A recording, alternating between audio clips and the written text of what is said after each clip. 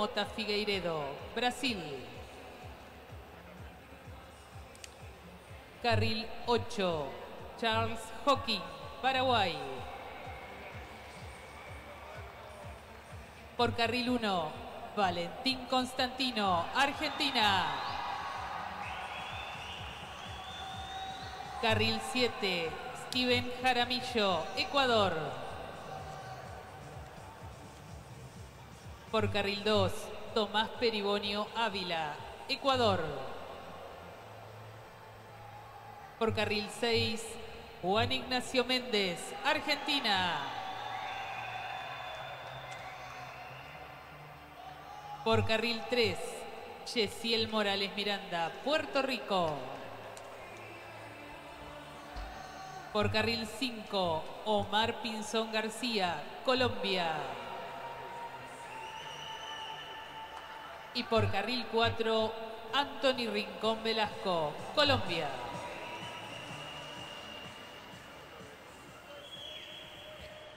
Bueno, nueve nadadores para esta final de los 200 metros espalda masculino. Acá hay que considerar que el puertorriqueño, eh, si bien participa, puede subir al podio, pero no desplaza a ningún nadador sudamericano. Así que esto lo tenemos que tener en cuenta porque es uno de los principales registros de la clasificación. Tenemos dos colombianos, un ecuatoriano, dos argentinos, un brasilero, uno de Paraguay y otro de Ecuador más.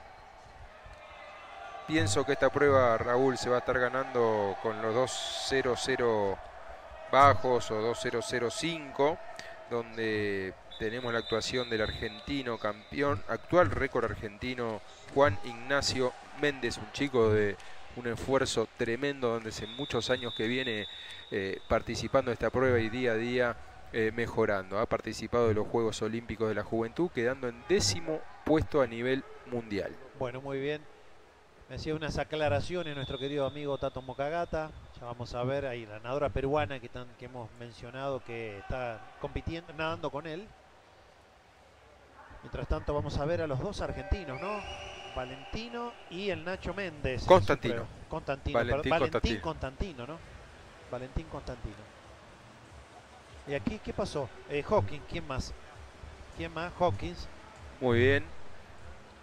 Hawking por, por acá Siempre. saliendo por el 8, disparado con gorra blanca, casi que se nos escapa de cámara.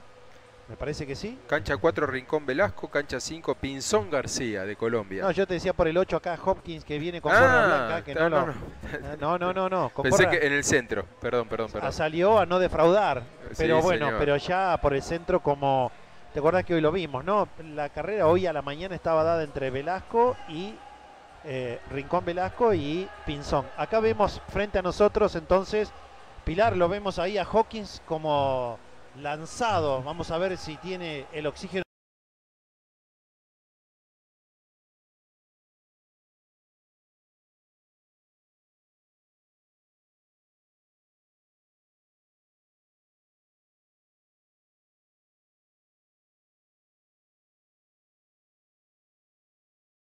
También en una buena actuación Valentín Constantino por el 1, pero un poquito más adelante está Nacho Méndez, ahora está en la línea de la medalla de bronce. Ahí lo vamos a ver girar. Top para el primero, top para el segundo. Ahí giraron top los tres que están peleando por la medalla de bronce. Y ahí está Nacho Méndez entre ellos, un poquito más atrás Valentín Constantino. Se viene el cierre, pelea Nacho Méndez, pelea el argentino por el carril número 6. Por ahora no le alcanzó para la medalla. Por cancha 3, el puertorriqueño. En Ah, primer ah, lugar. Bueno, ya dijimos que el puertorriqueño lo desplazaríamos con lo Pinzón segundo por el momento. Y la lucha entre Méndez y Peribonio de Ecuador. Bueno, entonces, gana el puertorriqueño, el, el puertorriqueño que se queda con la prueba, pero Nacho Méndez que queda en, en medalla de bronce, es Sí. tercer lugar para Nacho. Así es, medalla de bronce para Méndez. Bueno, ahí llegan todos los nadadores y cierra Paraguay, que me hizo recordar cuando uno sale para marcar el ritmo a los demás, porque salió como que eran 50 metros, una estrategia extraña la de Hawking Brusquet, que finalmente queda en el octavo, octavo lugar, noveno lugar de los clasificados. Vamos a recordar entonces, venció Morales de Bajando Puerto Rico. minutos. eh. 1.59.38 es marca B de Juegos Olímpicos, me parece. Sí, señor.